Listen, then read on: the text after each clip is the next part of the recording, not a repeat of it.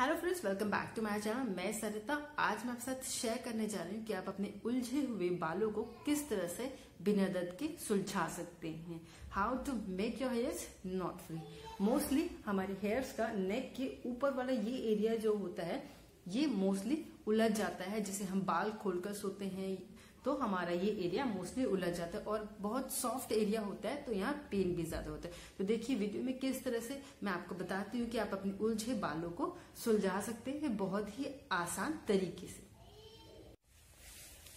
बाल धोने के बाद बहुत ही ज़्यादा उलझ जाते हैं और tangle free not free stuck hairs किसी भी तरह से आप बोल सकते हैं। ये देखिए कितनी उलझन है बालों के अंदर। बहुत ज़्यादा उलझे हुए हैं, देखिए। आपको दिख रहा है। अभी मैं आपको दिखाऊँगी, बहुत ही आसान तरीके से आप इन्हें सुलझा सकते हैं अपने टैंगल्स को रिमूव कर सकते हैं। सबसे पहले आप इस चीज़ का ध्यान रखें कि आप इस तरह का कॉम ले अपने कॉम को टैंगल फ्री करने के लिए, क्योंकि इससे आपके बाल टूटते भी कम है और जो उलझे हुए होते हैं, वो जल्दी सुलझते भी हैं।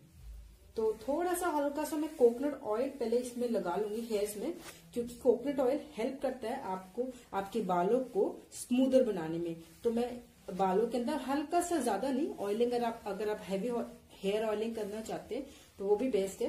बट बालों को टैंगल फ्री करने से पहले थोड़ा सा ऑयल हल्का सा बालों में लगा ले, ताकि आपके बाल थोड़े से स्मूथ हो जाए। तो मैं हल्का सा ऑयल अभी आपको दिखा के दिखाती हूँ। थोड़ा सा ऑयल मैं ले लेती हूँ अपने हैंड में। ये देखिए हल्का सा ऑयल इस तरह से मैंने लिया है। इससे क्या होगा, आपके हेयर थोड़े से स्मूथ हो जाएँगे। इस तरह दोनों हाथों में रब करके, ये पोर्शन जो नेक के ऊपर वाला पोर्शन होता है, यहाँ आपके हेयर्स बहुत ज़्यादा उलझे होते हैं। तो ये देखिए, इस तरह से लगा के आप दो मिनट छोड़ना चाहें तो छोड़ सकते हैं। इस तरह से रब कर ले और बालों को दो सेक्शंस में डिवाइड करके इस तरह से, इस तरह से टाइट से पकड़ के बालों को नीचे से नीचे से ऊपर की तरफ़ आप कॉम करें। हेयर्स के अंदर? ये देखिए। अच्छे से टाइट से बाल पकड़ लेंगे तो ऊपर से आपके बाल खींचेंगे नहीं। इस तरह से हल्का सा। ये देखिए, इस तरह से और ये देखिए कितने उलझे हुए बाल हैं। तो थोड़ा थोड़ा पोषण हल्का हल्का दबाने के बाद थोड़ा थोड़ा थोड़ा थोड़ा करके ऊपर जाते रहें और बालों के टैंगल्स को रिमूव करते रहें। ये देखिए इस तरह से। देखिए, अगर इस तरह से उलझन आती है तो उलझन को इस तरह से, इस तरह से सुलझा ले तो बिल्कुल भी पेन नहीं होगा। इस तरह से ये देखिए। इस तरह से एंड छोटा छोटा सेक्शन लेकर के, ये देखिए, इस तरह से है। नीचे से ऊपर की ओर कॉम करें। ये देखिए, इस तरह से।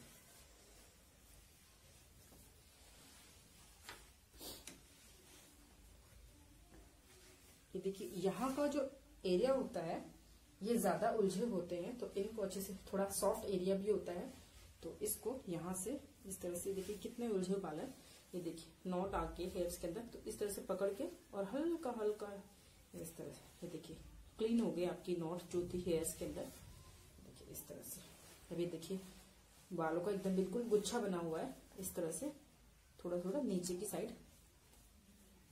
इस तरह से करते हुए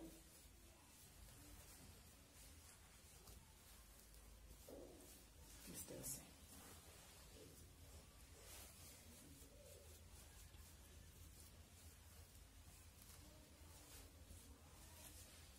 बिल्कुल देखिए बिल्कुल टैंगल फ्री हो गए हेयर्स आपके ये देखिए।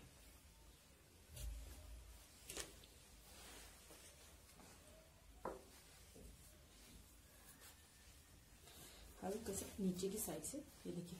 फिर से एक नॉट आपको दिखाई दी। नॉट को इस तरह से करना है आपको। हल्का सा पकड़ के इस तरह से।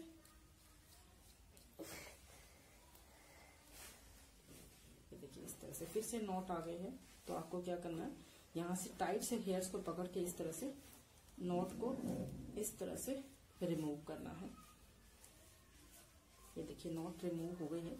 और ये देखिए, बिल्कुल टैंगल फ्री हेयर्स हो गए हैं। इस तरह से कॉम करते जाए और बालों को एक साइड करते जाए।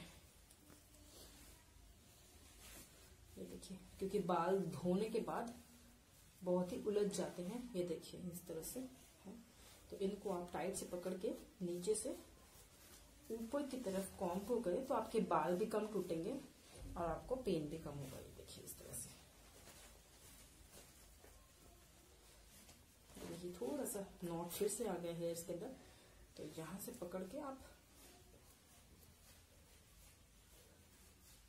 देखिए, बिल्कुल पेन नहीं हो रहा है, इधर से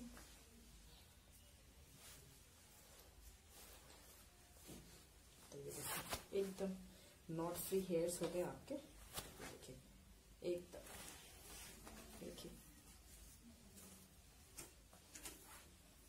एकदम नॉट फ्री हेयर हो गए। वीडियो अच्छी लगी तो प्लीज़ लाइक करें शेयर करें सब्सक्राइब करें मेरे चैनल को और कमेंट करना बिल्कुल भी ना